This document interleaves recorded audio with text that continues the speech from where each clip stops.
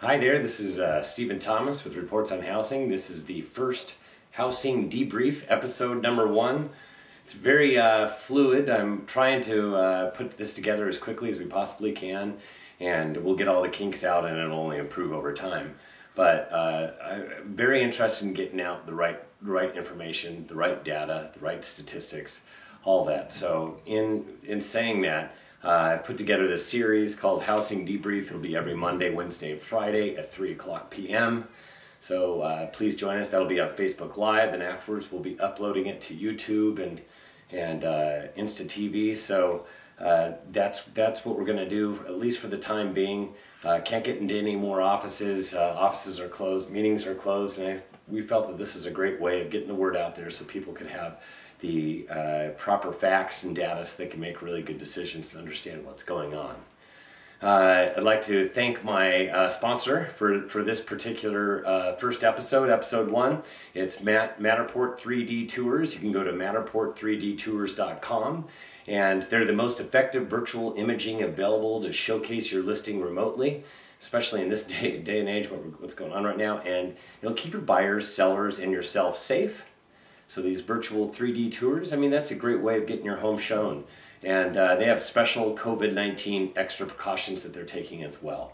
And uh, with, with everything that's going on, they brought down their price and it starts at uh, $299 for these 3D tours.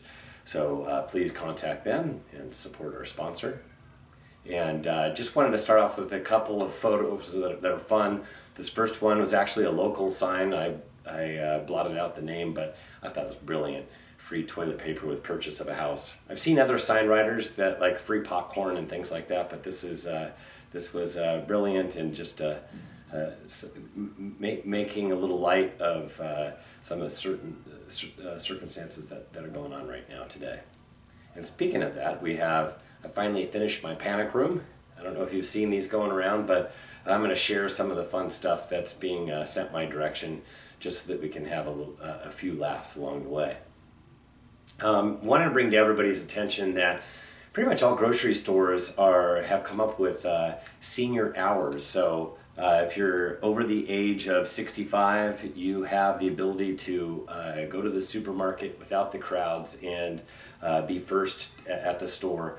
And uh, Gelson, Stater Brothers, and Albertsons, Vons, and Pavilions all have their own hours. I know Gelson's and Stater Brothers is daily, and Vons and Pavilions are both Tuesdays and Thursdays. So you contact your local store for the special hours for seniors. I think this is fantastic. If you know a senior, let them know that this is even going on, and maybe even shop for the, the senior as well.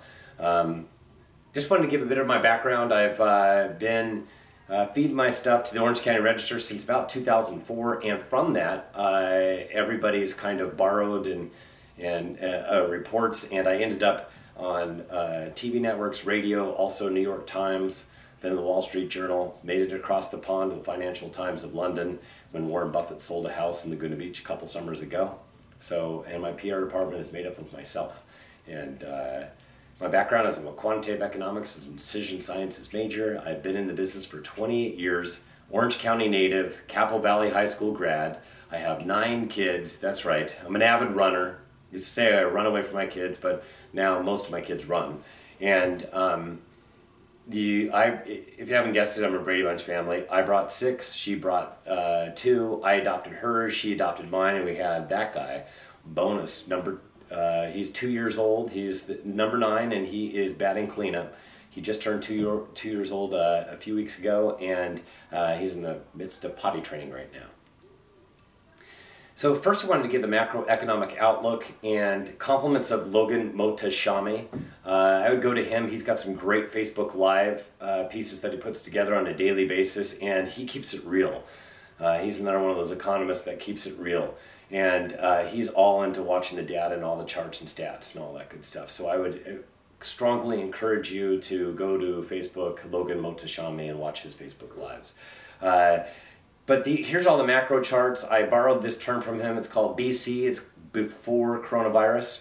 All of the charts right now look extremely positive we're just right now starting to get little blips of, uh, of an idea of, of how deep this uh, next quarter is going to be and this next phase is going to be.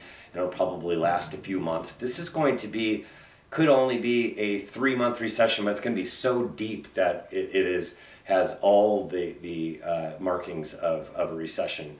You you don't necessarily need to go two quarters out in order to have a recession. It could be just so deep and so impactful in a three month period that it basically is implied a recession. So, uh, but we're looking at all the macro charts. The macro charts are pretty much showing how everything is really positive right now. But I want everybody to understand that the housing market is extremely strong. The fundamentals are strong. We have great down payments. We have a lot of uh, a lot of great uh, uh, loan down down payments as well. So people bought them like uh, all cash or they put down big down payments. They also had actually qualified for a loan. Gone are the days of subprime where anybody could uh, afford a loan. You actually have to prove that you can make the monthly payment.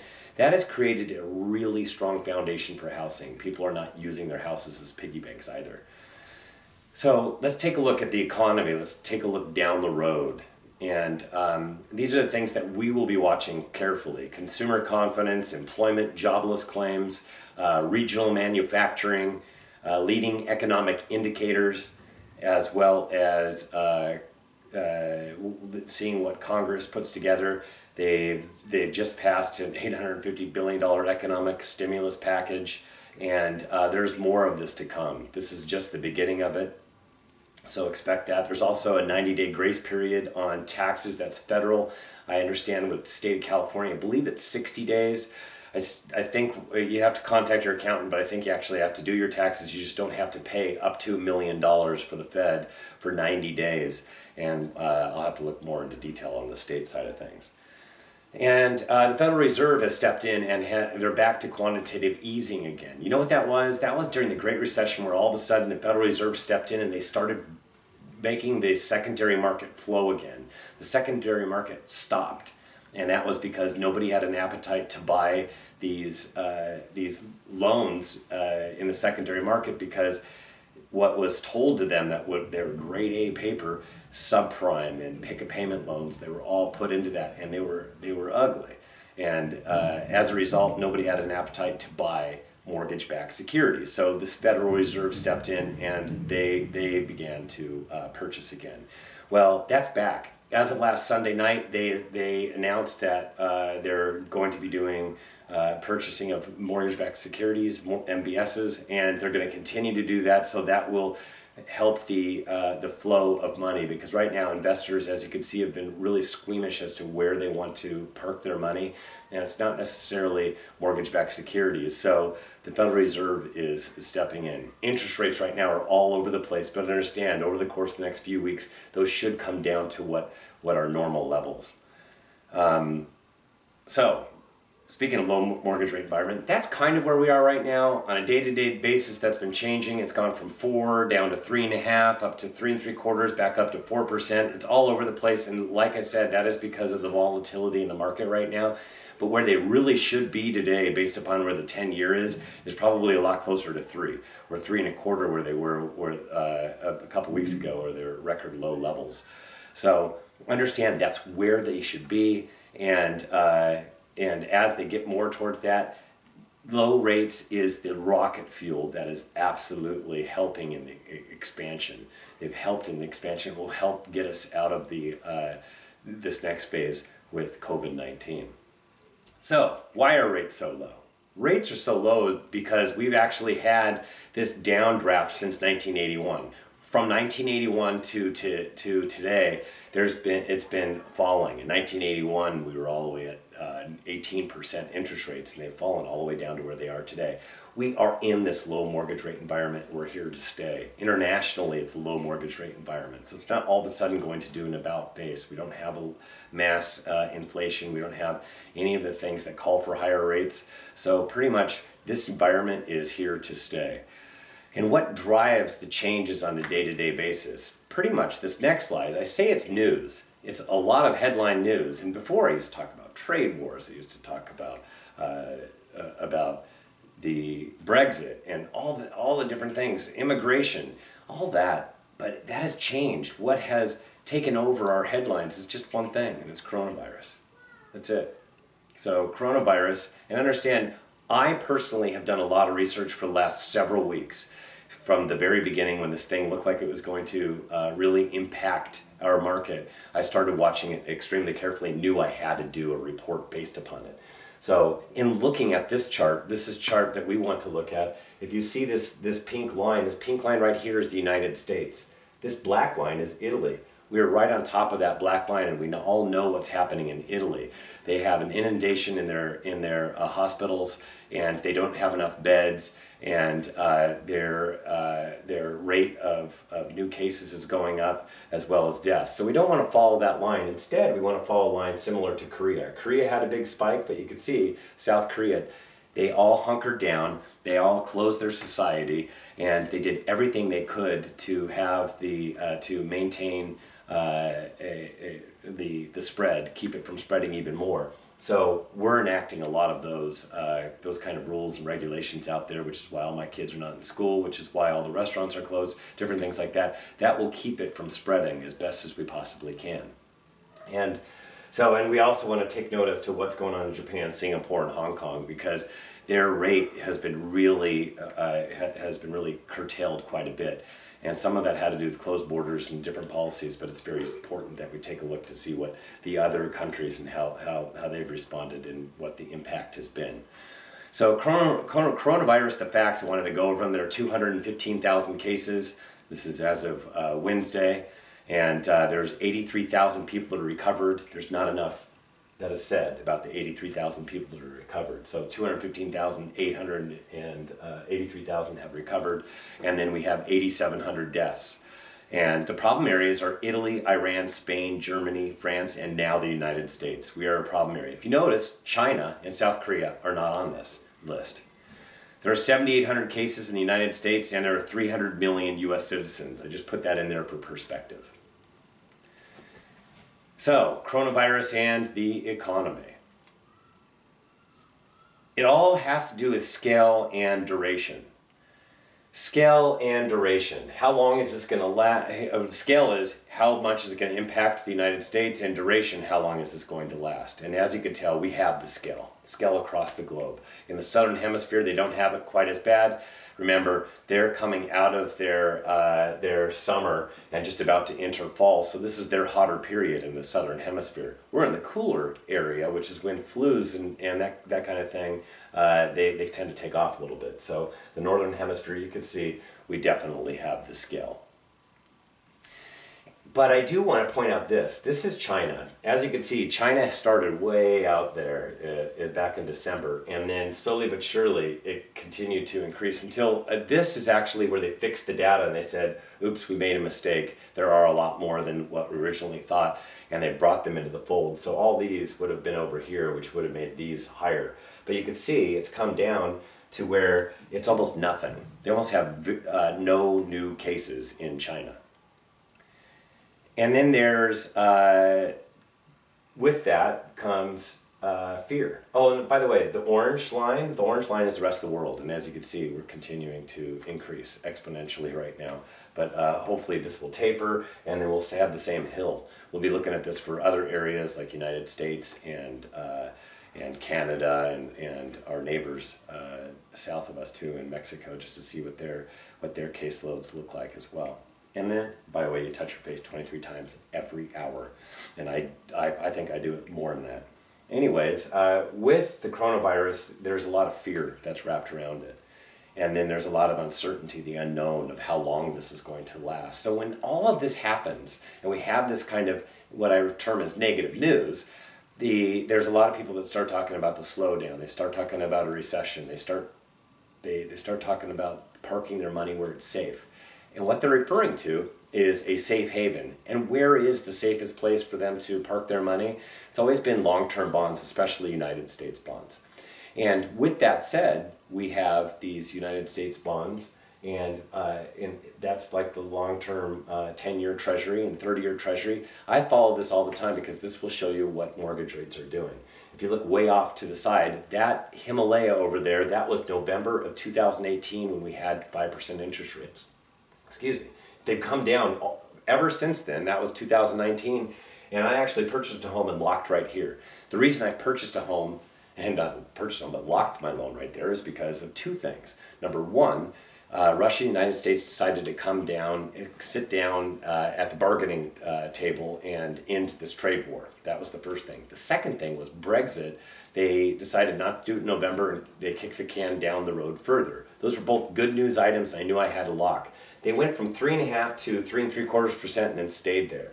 And then since then, they came down quite a bit. And what happened to the 10 year Treasury? Why did it come down? This is February and March. Why did they come down so far? It has everything to do with the coronavirus.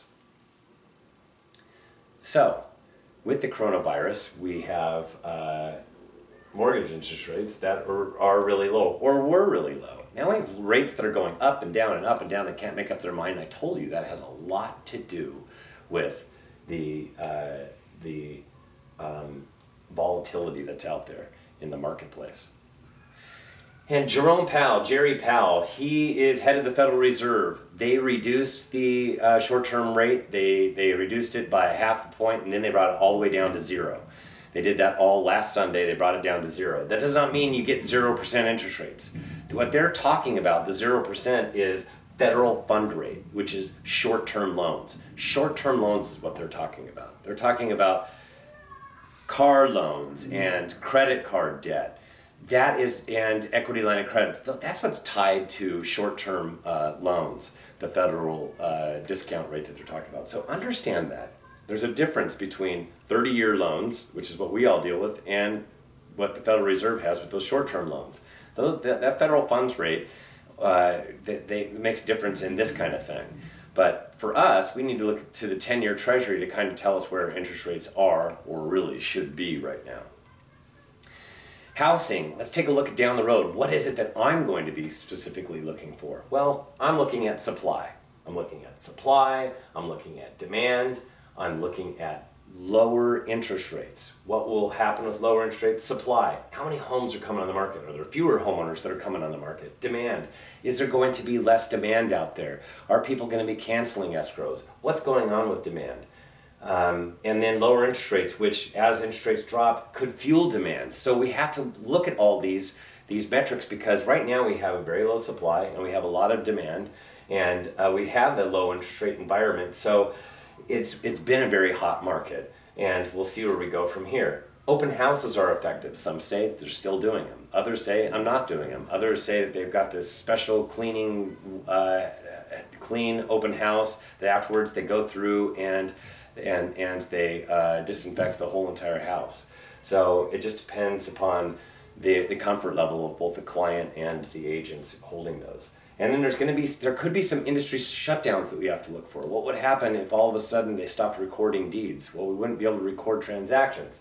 That's not happening. I know that they've shut down the office at the office level, but they're still dealing with it electronically. These uh, the uh, deeds to keep the flow of of uh, our marketplace going and closing transactions.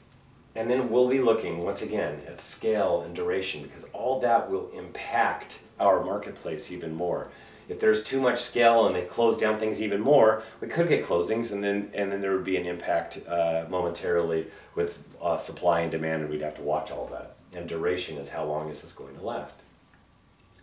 So the Southern California market, understand, has been extremely hot. It all has to do with supply and demand. Econ 101. So, Southern California housing supply, it has been a supply problem. But it's not necessarily, and this is just one of my charts, this is Orange County, but I will be combining, I've done this for all Southern California counties, I'm going to be combining them all so that you can see this supply problem, it doesn't change that much from year to year.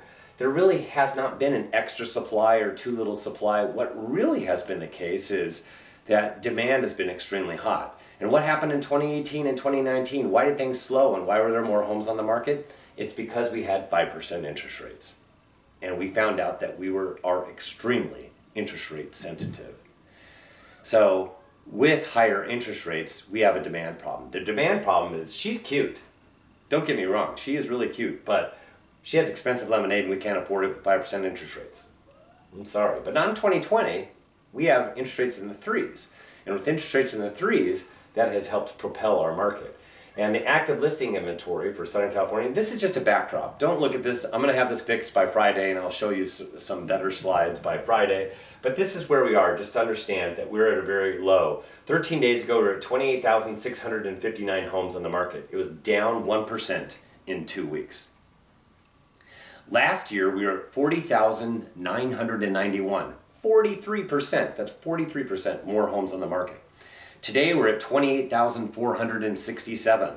That is 0.7% less. This is typically the time of year where we're starting to increase, yet we're not increasing. We're going down right now a little bit. And this is a Southern California phenomenon with more with fewer homes on the market than last year. All of Southern California, and it's a major metro problem, which is why major metro thing, which is why you hear across the across uh, the the uh, United States that there's not enough homes in the market. It's because they're all in escrow. Same number of homes coming on the market, just about. They're all in escrow. So, Southern California housing demand has been extremely hot. And Lemonade is priced uh, still a little bit higher, but we can afford it with interest rates in the threes. She's cute, long line.